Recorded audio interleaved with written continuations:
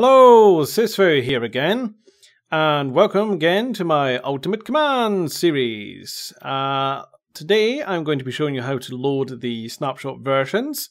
So that way if you want to actually download the world map and actually have it work properly so that you have all the blocks and all the various new commands, you can do that. Uh, if you just want to watch the videos and stick to the older versions, I will mention, as I've mentioned before, Future videos will show when the various bits came in, so if you have an older version, you'll know which uh, various commands or modifiers you can't actually use. But if you do want to play with them all, you need the snapshots. Now, before I show you how to actually make um, the profiles for the snapshots, I have two very, very important things I have to point out. One, always, always back up your world. Any world that you plan to open in a snapshot, make a backup copy. The reason for that is that on rare occasions, it doesn't happen that often, but it did happen quite recently again, a snapshot will totally corrupt your world. Totally inaccurate. And if you're incredibly lucky, you might retrieve from it, but chances are you won't. So always back it up. And point number two, exactly the same as the first one. I can't reiterate it enough. Always back up your worlds that you open in snapshots. If you screw it up, it's nobody's fault but yours.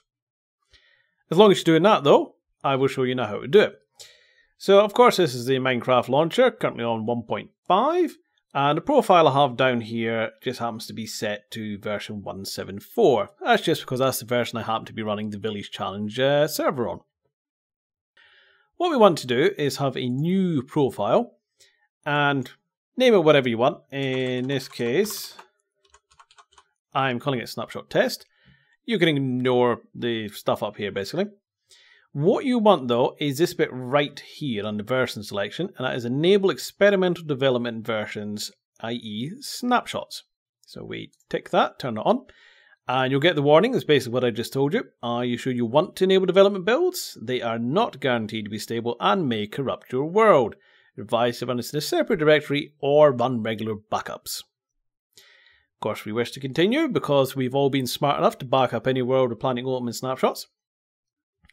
Now, the used version, in your case, will probably be the latest version already. Um, if you'd locked it to an older version, you will need to open it up and move up to the top and select Use Latest Version. So in the case of that one, if I save it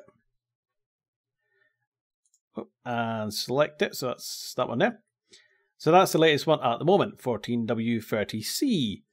Uh, there will probably be a new one tomorrow. So when a new one comes along, it will automatically play the latest one. If for some reason you decide, actually, I want to look at a specific snapshot version, say the 30 snapshots had a massive bug in something you were testing, you can lock it back to another one. So I'll 14W29B, save the profile, and that will now stay on that version on that profile until you tell it otherwise, no matter how many new versions come out. So just change that one back, use latest version, save, and that's the profile. If you then want to go back and play your normal standard Minecraft, you then select your other profile, that's just my normal one there, and there we are, back to playing 174 in this case.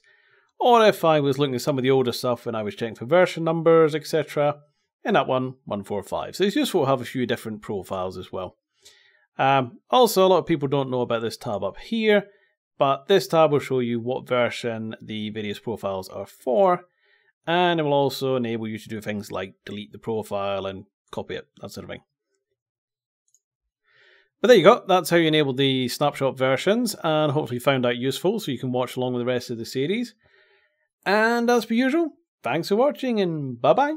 Conveniently, though, they do have this lovely uh, gondola or cable car system, whatever you want to call it, but they call it gondolas around here. Uh, it's over the other side. Better call it over. Oh, there we go. Here it comes. I'll just wait a moment or two, and that should arrive, and then we can head on over and get some skiing done.